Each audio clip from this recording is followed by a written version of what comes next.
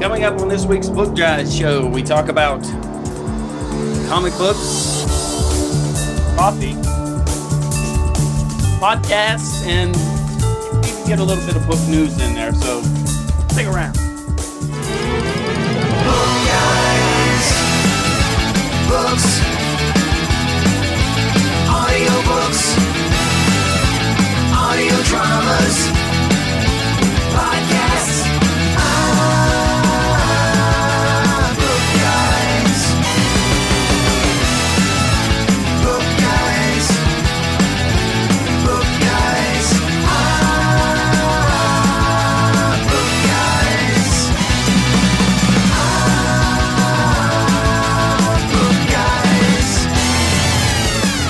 The Book Guys Show is brought to you by Audible. Go to bookguys.ca slash audible and get a free book just for signing up for a free trial.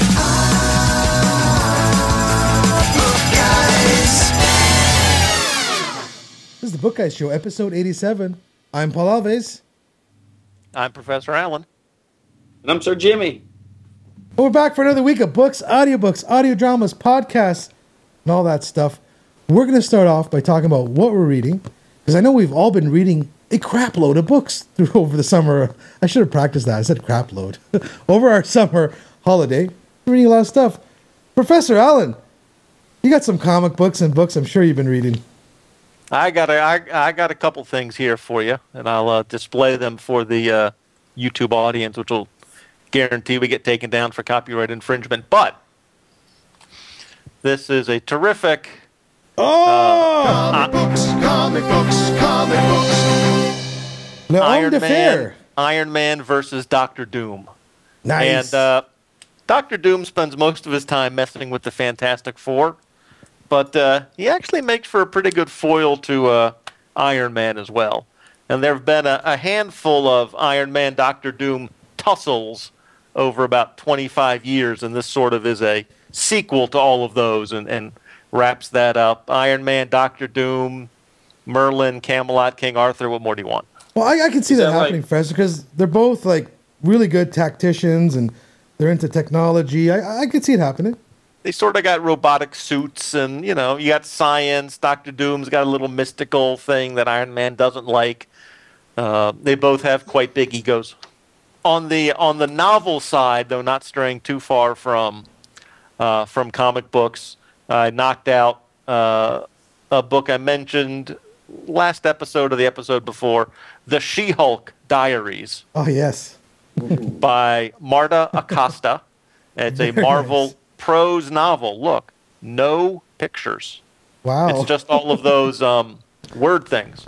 But it's very fun. It's a uh, it's a you know it's supposed to, it's supposed to be for the ladies. It's a chick lit with a you know six hundred pound. Oh, any any, any little, little romance in there? A little romance. A little, just a little bit of love, a little bit of romance. Hello. Nice. We got to get Pat Flewelling back on to chat with you about that one for sure. Exactly. Try. Uh, we'll do a we'll we'll do a joint in depth review with Pat. Absolutely. And you know what? I have to be honest, folks. This is Pat's book, Fog of Dockside City. I started it a while ago, and I've had so little time for paper books that I had to put my uh, bookmark back at the front. I'm going to start it again soon. Audible is so convenient. Sorry. Sorry, Pat. I am getting to it very soon before you come here, I swear. We are making room, Pat. Look, we're expanding. We're going to get another chair or two or four. Soon we'll have uh, guests in studio in Toronto. Now we got to get authors to come to Toronto. We have liquor. Saying. You're gonna need like a remote control light up above that you can control with a little joystick and like put it right on somebody. Like, hey, you got so and so. Like like the Well- thrill the thrill cam from Twit. I gotta get a, a run of wire and have a little camera on it. What do you have, Jimmy? I picked up a book. You can see the little black mark on it here, Oh, right down the middle. They take a magic marker at the local bookstore and they have a shelf where everything's free. Like freehollowbooks.com was started. but they actually hang on. off the shelf. They actually deface to, the book first. That's mean. I know. Well, they do That's- that so you won't try to bring it back through the line and get credit for it and waste their time. Right. I guess. But if you take a um, Mr. Clean Magic Eraser and wet it a little bit, if you got a slick cover, you can take that right off. So I've been doing that for a long time. Well, this book's called Shooting Straight. It's old. I mean, it's written by Wayne LaPierre, um, the guy who's head of the NRA, with an introduction by "Help me cool dead hands," Charlton Heston. and uh, it's about how the anti-gun lobby's piggybacking on the war on terror and trying to take down the Second Amendment. So it's from a gun lover's perspective. So uh, it's perfect for me. There you go. Are you gonna hollow it out after? No, it's so thin it would be pointless. Besides, And I think I think that's going to be the first place they look for the gun. Is in the and Second oddly Amendment enough, book. it's it's it's signed by Wayne LaPierre Very and nice. And Charlton Heston. James Baker. Oh, okay. Two words, Charlton Jimmy. Heston. Two words, Jimmy. eBay. I know that's just one word, but still, eBay with the signed copy. I'm I almost wore my eBay shirt. I, I've got a technology tip for folks today because I had a bunch of uh, things on my Audible, which I use on my phone. But, you know, apparently I have my Audible app on the little card that goes in the phone, and I use it to record the show as well. So I have to buy a new card because I, I just loaded up my Audible app and it says it's not installed. It's over there in the camera, right there where you are, folks. Uh, but I do remember the, that card? the one I'm listening to now is called Ex-Heroes by Peter Clines. He's the guy who did Apartment 14, which I talked about, uh, I don't know, 10 shows ago. Awesome. Picture this. I haven't I haven't finished yet, so I won't give a full review, but superheroes versus zombies in Hollywood. Awesome. You got like humans and superheroes on the wall, like shooting zombies, and they have like a little meta game going where the the person uh, who can kill the most famous celebrity zombie, you know, gets all the all the props. so you know they're shooting like Angelina Jolie and Jessica Alba and stuff. but uh, lots of fun. Uh, I just saw that he came out with his third in this uh, series, and I hate doing stuff out of order. I don't know if you guys can do that, but I saw the third one. It looked so interesting. I said, ah, it's the third in the trilogy. I gotta listen to all three or none. There I am. Absolutely. I can't I can't start a series in the middle and the problem is once I start a series, I have trouble stopping. I certainly can't stop a book in the middle. Yeah. That's Yeah, you- impossible. You Yeah. shut down with Ender's Game. Are you still going? That's that's well, look. Ender's Game and Ender's Shadow sort of tells the complete story. I'm I'm they're on my list. There is an On my list. expanded expanded universe. uh, speaking of Ender's Game, of course, they're in the middle of production uh, over at Skyboat Media on Ender's Game Alive, which is going to be six to seven hours. We are told, a little birdie on Twitter told us that there's going to be over 30 voice actors. This is going to be basically a huge audio drama. I think quite possibly from the people that brought you the first multi-voice audiobook, I think they're bringing you the most voice audiobook ever. and apparently Orson Scott Card is heavily involved. The de facto version of Ender's Game. I'm really looking forward to listening to this a lot more than I am the movie, believe it or not, because I figure if Orson has strained his own work down to six hours with 30 odd voices, that's got to be better than like an hour and a half. Yeah, and you still get to imagine everything in your mind because some of the stuff I've seen of the movie, um, I was like, oh, that's not really how I pictured it, you know, and so it kind of disappointing, but you know, the mind always wins. Now, of, of course, the, they've they've changed the roles of, of the various actors. I mean, Gabrielle de Cuir is not going to be Valentine anymore because her voice is a little older now. So they've actually brought in children to play the parts of the children. Uh, Stefan Rudnicki, uh, Scott Brick, Gabrielle de Cuir are coming back, but as adult uh, roles. So they will be involved, but they won't be, uh, you know, Rudnicki won't be Ender.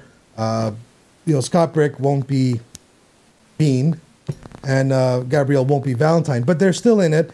And uh, Orson Scott Card is there every so when day. Stefan Rudnicki came to me and uh, said that there was a publisher interested in doing a dramatized version of Ender's Game, I immediately knew two things. First of all, this was going to happen. One way or another, I was going to make sure it happened. And two, I was going to write it myself. Ender's Game was going to be just as hard to adapt to audio drama as it was to uh, movies. In fact, harder. So the problem with doing something like this is it's, it's expensive. So you have to have a budget, you have to have funding, and if you have a budget and funding, then you have a schedule. I thought this was going to be easier than it turned out to be. So I glibly agreed. May 1st, not a problem. Just a couple of months away, but it was it was going to be easy. I know the story backward and forward. This isn't going to be hard. It's hard. Uh, you have to rethink things. I had to come up with new characters, had to come up with uh, uh, scenes that were not in the book in order to explain scenes that are in the book.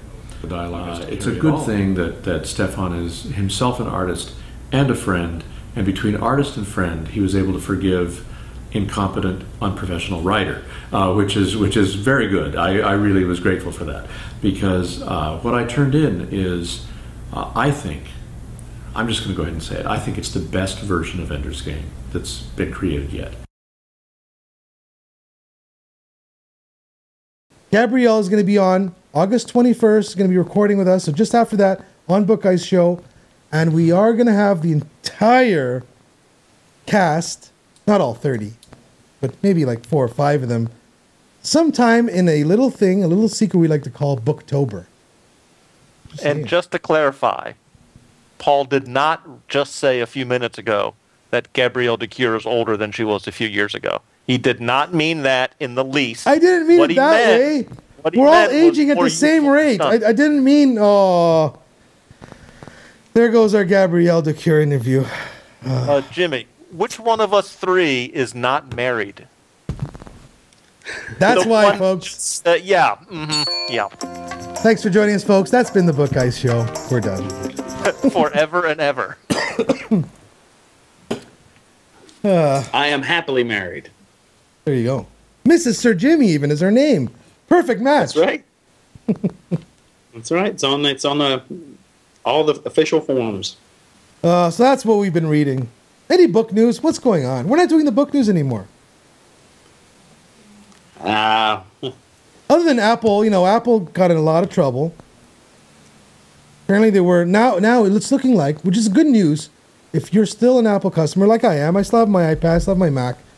Good news for Apple customers is because of all this malarkey, it's looking like Apple is going to be forced to allow people or companies like Amazon, owned by Google, uh, uh, allowing Amazon to sell their books on the iOS platform rather than you having to buy them somewhere else and then they get loaded to your phone. So it's looking like uh, online stores within iOS for third party companies going to be allowed, which is good. Uh, they did get in a little bit more trouble. Uh, at some point, there was a ruling that they couldn't sell iPads and iPhones in the United States anymore. But thankfully, the Obama administration kiboshed that whole court ruling because, uh, well, to thank them for, you know, since Steve Jobs died, for joining the NSA program. I'm just putting my theory out there. A little did you see this thing? Uh, they opened up a camp in Florida for kids that is a Hunger Games camp Oh, that's cool. Do they kill each other? the kids actually the kids fight to the death, but not literally. you know, and it comes down to one person and. So here's the thing, Jimmy. If you had told me that story and and asked me to guess which of our 50 states that takes place in, I would have guessed Florida first. I, I would have said Really? Det- I would have said That Michigan. sounds about right. I would have said Michigan because uh, Detroit's the city where they wanted to build a zombie apocalypse uh, theme uh, park. Same. Yeah, they said that killing sounded too uh, morbid, too violent, so they called it collecting lives. Uh, let- let's- Gamification. Let's do a little bit of this. Books on film and television. Has anyone watched Wolverine? Nobot and, and uh, Mrs. Sir Jimmy both watched it, and they enjoyed it thoroughly. I, I uh, I've had enough shirtless Hugh Jackman to get me through the next decade. I thought it was a little too Japanese for me. That's kind of cool. It was uh, a little bit seemed a little forced to do all this uh, stuff. I was hoping for a, a real, you know, two hour long origin story for Wolverine. I wanted to see like as a Canadian, we have very few Canadian superheroes. I was hoping to see like the Weapon X program. Uh, I wanted to see like, you know, Captain America in Canada getting injected, and I wanted to see Wolverine having his bones removed out of his body and the mantium put in, and a little bit of Canada. Just little, I'm, I'm just saying, I'm not asking for a lot. Can he be in Canada for two minutes of the movie, seeing as he's Canadian? No. They make him American again, and he's in Japan for 99% of the movie, and it's just like, fail. Then they wonder, well, our numbers are down in Canada. Not many people in Canada watched it. Well, piss off. Well, this, but this, to be fair, the samurai story is one of the, the most popular, Yeah. recent, not not of the original, one of the more, more popular modern takes on sort of the personality, origin story of the personality and the character of Wolverine with that uh, sort of lone samurai vibe. Well, we're, we're looking at, uh, I hear rumors, and I, I haven't uh, looked into too much, but there may be an Alpha Flight movie in the future. But maybe they'll do the finally do the Wolverine, you know, origin story then when they get you know Captain Canuck and Puck and all these other weird characters together. Could be fun. At at at that point, I, th- I think that is scheduled for 2073. There you go. I think that's uh, that's that's uh, the Marvel movies version eight. I think is It's all dependent on how uh, Superman versus Batman does. Exactly exactly. And I want to clear Yeah, the super, air. they they've actually got some people uh, shortlisted for some of those roles. Have you seen? Uh, no, I haven't. Do you know who Joseph Gordon-Levitt is? Yes. Yeah, they got him um, possibly set to uh, play Bruce Wayne. Wow. Okay. Um, the blue. Uh, it's, Zack Snyder's doing this, right? And they said, See, uh, I, I- I don't see that happening. But then again, I didn't see Michael Keaton anywhere possibly being a good Batman, and he's not the worst. He's not bad. and they also got Josh Brolin and Ryan Gosling. Okay. Now Ryan's Deadpool. Come on. Yeah, Sir Jimmy, that seems to me to be a list of actors for any role in Hollywood these days. Those three Yes. actors are pretty. I mean that that could have been any of about 42 movies you just mentioned. Yeah, pretty much.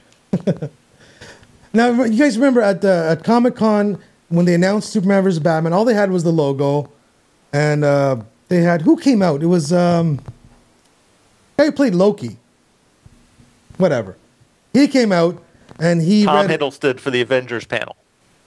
He wrote he read a little uh, excerpt from uh, I believe it was Dark Knight Returns, where where Bruce uh, where Batman basically says Clark, I want you to remember the, the only guy who ever beat you is me or something like that.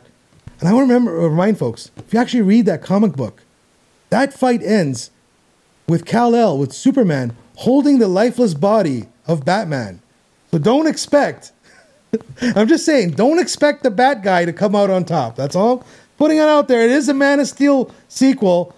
He's got to win in the end. Just saying. There was a great arc in uh, in the early '90s, I want to say, early to mid '90s, where um, Batman ended up with a kryptonite ring that actually Superman ga- gives Batman a kryptonite ring on the theory that if I ever go crazy, if someone ever possesses me, Yes. If you know Lex Luthor is able to control my mind and I go crazy, you're the only person I trust to take me out. There you go. So maybe that's where we're heading, or at least I assume he had that's someone the end else- of the movie. someone else mailed the ring. I hope. It was in a lead-lined uh, box, if you must know. Hey guys, you know what? Uh, we're going to do a really short show today because we're still kind of on summer break. But uh, as Professor Alan talked about before the show, what goes better with a comic book or a book than a nice cup of coffee? And you know, we have props. There's props. You can buy you can buy some decent coffee or okay coffee. It's about ten bucks at Walmart. Tastes like poop. If you're a real coffee aficionado like I am, you want to check out tonx.org. Here's what Tonx does. Every two weeks, it's kind of subscription. So every two weeks, they send you a new bag of coffee, and it might not come out on screen, but I'll read it for you. Every two weeks, you get a surprise coffee uh, from anywhere around the world, and it's a gourmet blend. It's well roasted. They literally they roast it on Sunday, and you get it like two or three days later in the mail, freshly roasted, full beans. This one is uh, Kenya Kamwangi from Kirinyaga, whole bean coffee, and a couple weeks ago I got this one.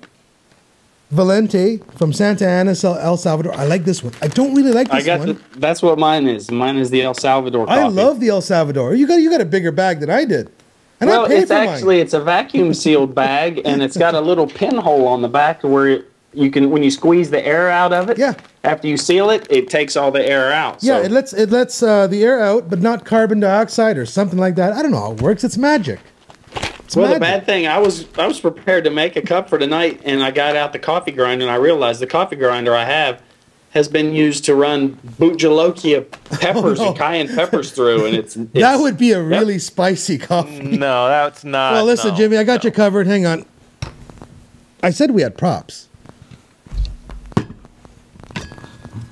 I like to make an eight cup pot. It's the only thing I know how to make. So you fill your grinder up to the eight pot, and you don't want to grind them all at once. You- You're going to get a nice fresh taste by actually grinding it.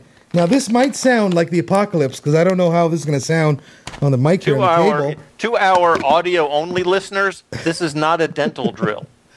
No, this is not a dental drill. Very bad neuroassociation for an ad read, but here we go. So what you want to do is you want to pulse it. You don't want to do it all at once because then you're going to end up with like three or four whole beans. You can let it settle. And for a regular coffee, you're not, you're not making an espresso, so you got to let it grind, but you don't want to grind it too much. You want it a little coarse. So that's about what you want. And Oh man, that smells good. And I gotta say, as a coffee lover, I love it. Uh, yeah, it costs a little bit more than the Walmart coffee, but the cool thing about it is the discovery. It's that, so Jimmy, every two weeks, we look forward to opening that Tonx box. Me, me and the box, me and Kevin, we open it. We're like, oh, cool! It's from Guatemala. Let's try it. And you're not gonna like them all. Like I personally don't like the Kenya. Kevin loves it. I love the El Salvador, you know, but it's not a thing where you can order more of the El Salvador. They gri- they they roast it fresh, deliver it, and that's it. There's no more of it. It's fresh. They they get it all out, and two weeks from now Yeah. we're gonna get another flavor. it's dated. Yeah, that's the date, and it comes with a little card tells you, you know, the Juan Valdez of that area and who he is, and they pay these people properly. It's not like you know big box stores go in and basically you know ruin the environment and you know rob these people, get them you know working less than minimum wage. So get a little like thirty dollar grinder or ten dollar grinder, and I'm gonna make a fresh pot right now. I'll be drinking that later in the show. You can even try it for free. You don't have to spend a dime. Go to tonx.org slash book guys and they'll send you well they're not gonna send you a big bag, they're gonna send you a little sample bag. But check it out and you who knows what flavor you'll get. Depending on when you sign up at tonx.org slash book guys, you you'll, who knows. Discovery is And is just great. to clarify, to clarify, Tonx, T O N X. dot org. We'll put it up on the screen right here. Good point, Alan. Uh, guys, you know what? I know it's a long ad read, but I I'm I, I'm always here to care for our audio listeners as well. thank you. And uh, I don't think we'll ever promote anything on this show that we don't really like. Like, I'm eating a coffee bean. Who doesn't love coffee anyway? Be right back after the break with some coffee, folks. I already asked Graff if I could go with you. I don't want you there. He said when the war's over. He said he'd bring me to you wherever you are. To weep a little over my grave? Or bring me cookies in my prison cell? You really are depressed. Because they're counting on me to win, and I don't know how.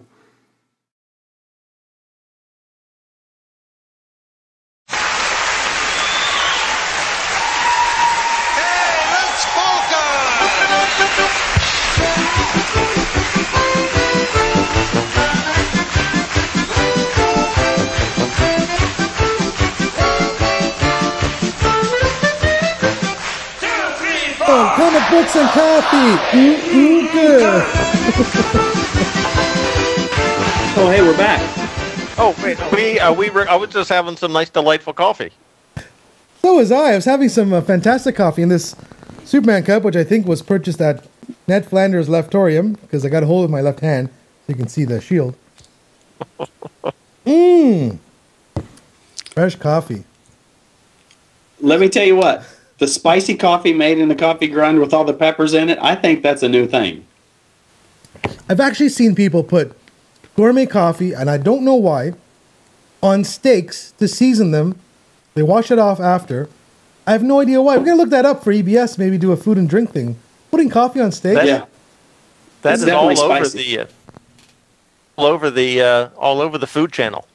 Wow. They do that. Coffee, a little, a little chocolate, grind up some coffee chocolate. Hmm. That's that's part of your rub for the steak. Just saying. Do you think this would be any good for coffee enemas? Not with the peppers. Oh, You know, no, you know yes. Sir Jimmy, Thank you. if we drank coffee during EBS, less people would pass out during the show. I think that's true. I think it's a good idea. We need more stimulation because I don't really get enough. You know, but this coffee's really working. Sir, uh, Professor Alan, please tell me you got some podcasts to talk about. Please. I do. I've got the, All right, I'm gonna hit the jingle then. but only if you have a jingle. podcast.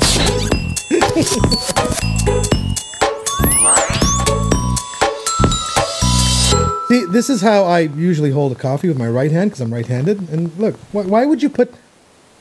Why would you not put your logo on the other side as well? I'm just saying. You want to promote Superman.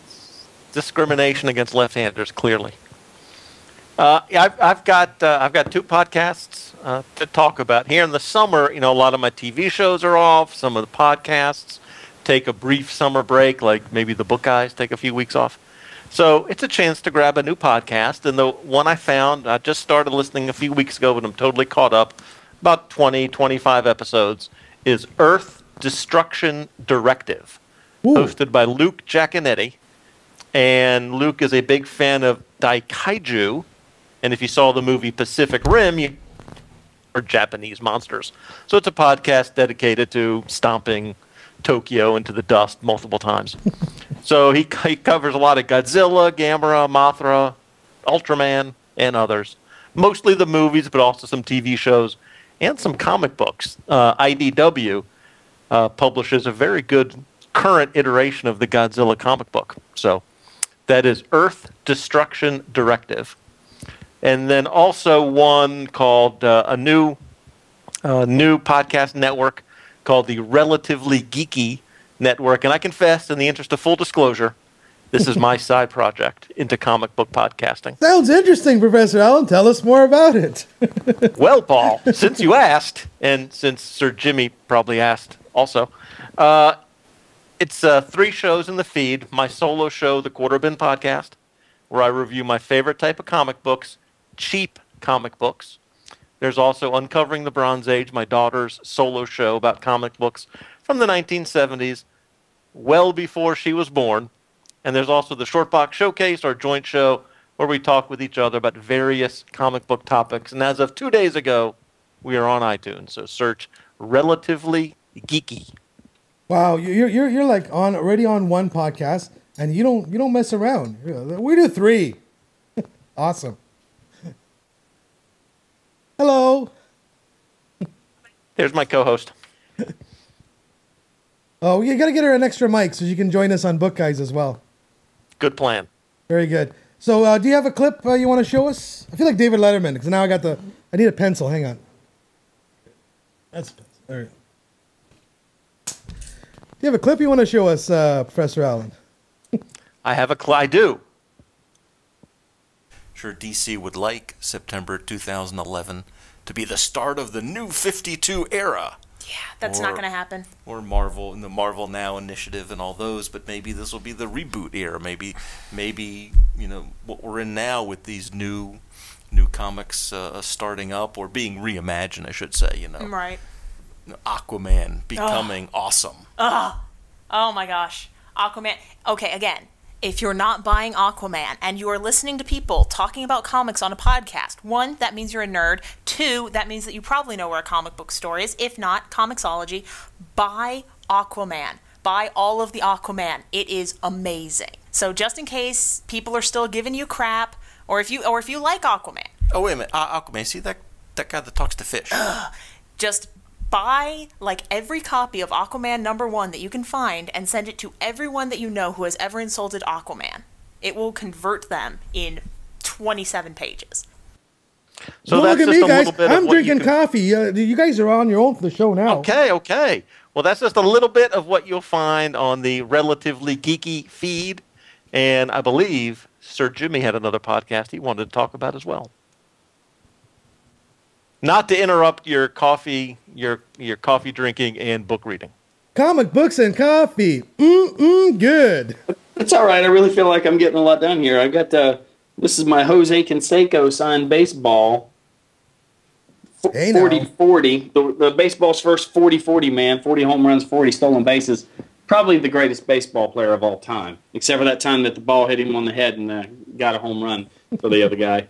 But um, it's a podcast that I just came across. I heard someone talking about it, and I was like, "Oh my goodness, Jose Canseco has a podcast." So it's called Canseco Knows Best, and he just sits and he's got a moderator that throws questions at him from people that write in or call in, and and uh, he just answers any question at all. And I tell you what, he's he's very blunt, and he's he's not afraid to say anything, and, he, and he's a lot smarter guy than I think a lot of people would give him credit for. And uh, this last episode I was listening to, he's uh, he's done some professional wrestling, like MMA stuff, and it's like just uh, What was he like? The the green against- bastard, parts unknown. Green bastard, parts unknown. Nice. it's not top tier talent, but he did fight Hong Man Choi. This guy is like seven foot four and three hundred fifty pounds, Wow. and he's trying to fight Shaq, and Shaq keeps dodging him. So come on, Shaq. That's not a Big guy you fight. swag. That's a guy you shoot. Just. Well, and he also fought Danny Bonaduce. Forget he said he felt bad when he knocked him out. He walked into a jab, and he's like under his breath, he's like, "You all right, man? You all right?" He's like, "Yeah, I'm okay." But the podcast hasn't been produced. There's only been three episodes put out, but I listened to them all yesterday, um, and just like if more people go listen to it, maybe he'll be driven to do another episode. Canseco knows. You know, and, you know, and people gave you know Canseco a lot of grief when he came up with that first book and made all those accusations. In retrospect, he was both accurate and you know he was like like you said blunt, but he certainly didn't seem to be making stuff up in retrospect. No, no. I mean, uh, if if you look at the guy, and then you see when he got together, he was like uh, rookie of the year in like 1987. That's the year the tops of baseball cards all looked like wood. They were nasty, but uh, then he got on a team with Mark McGwire, who was a tall, skinny guy. And then a few years later, Mark McGwire is like a big giant he Hulk, not She Hulk, but yeah. And then he sets the records, and and he comes in. So yeah, honest guy. And hey, he he dated Madonna, and his life got wrecked temporarily. Who else has dated Madonna and had their life wrecked? Oh, Alex Rodriguez, uh, Dennis Rodman. Vanilla Ice. So, um, Black. Widow, I say. True story. Vanilla Ice. Madonna. Try scrubbing that No out of your brain, folks. That's my boy anyway. I love love me some. Uh, I, I, you know, what? I do have a podcast pick. I'm gonna pick this week. I'm gonna pick all about Android. You're into Android, but you have to be really geeky into Android. It's not like iPad today where it's a quick, hey, here's some apps. It's really they get into the nitty gritty of Android and Google and all that. They touch on all the stories. And they do do some. They do do. They do some app picks at the end of the show. It's pretty good. All about Android on the Twit Network. I'll even play a short clip. No, I won't. Oh, that was an accident. Paul said, Paul said doo doo. I, I said doo doo. This is Twit. There were some photos leaked of the Galaxy Folder. This is a flip phone. A flip phone! A flip phone that runs Android 4.2.2. Sports two 3.7 inch AMOLED touchscreen displays uh, with 800 by 480 resolution front and back. Snapdragon 400 dual core processor, 2 gigabyte RAM, 4G LTE connectivity.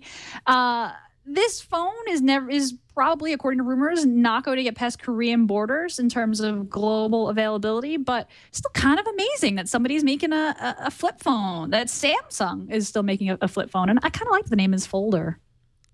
It's kind of cute. I have to say that if they release this in the United States, I would predict that this would be a ridiculous success. Because nothing, everything else they they release in the United States, they'll be like, nah, the note won't work. No, no, That'll work. No, no, no. Not saying anything about Samsung's previous releases, but I feel like there's an inherent desire to flip things in our society, and I think it all goes back to Star Trek and the communicators. Yeah, Mm, okay, and we've and we've moved away from that with our smartphones. And I, th- I actually thought about this the other night because I was on the bus coming back from the from uh, from the Upper Haight, and there was a dude who had a like an honest to good like can, like uh, candy bar Clamshell? flip, clamshell Oh. Like flip, yeah flip phone. And I was like, I haven't seen one of those in years. and he was really happy to be there doing his T9 thing. And imagine if he had the power of Android in one of these. I know, and we've seen these before, but I think if they brought it over here, it would do better than we expected. Like the Note, we all laughed at the Note. We thought the Note was going Mhm. to be a joke. But seeing the form factor, I do like that anything but that candy bar form factor. Everything looks the same at this point. Can't tell the difference between one phone or next. Moto, Motorola trying to do everything different by adding little colors and everything. HTC trying to do different materials. But a like a, an actual folding phone, I don't know if it's necessarily opening a device, but when you're angry and you want to hang up, you know, just pushing is not the same. It doesn't, no, when you're just like, ah, there you go. I'm done with you. That that satisfaction has been just we're gone. We've been it's gone denied now. that, Yeah. denied that for years now. I want to be able to hang a phone up. Right. All about Android. Check it out if you are an Android aficionado. Uh, go to twit.tv slash AAA, I think. If not, you'll find them at twit.tv. I watch a live show every Tuesday, just before NSFW with Brian Brushwood. Coffee's awesome. We can tell. A little whiskey in there wouldn't be too bad either for a cold winter's night. Just saying. Or morning. Um, Paul, we're recording this in the beginning of August, just so the listeners oh, right, know. right. Just so the listeners know. Gotcha. Slight cold front.